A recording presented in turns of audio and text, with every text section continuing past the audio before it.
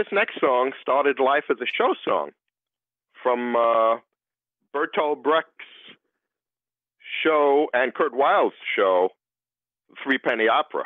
In the show, though, it was a very different sounding song, very menacing. Then Johnny Mercer got a hold of it and wrote a pop lyric, and Andy Williams had a big hit with a song I've loved, a record I've loved, the Bilbao song.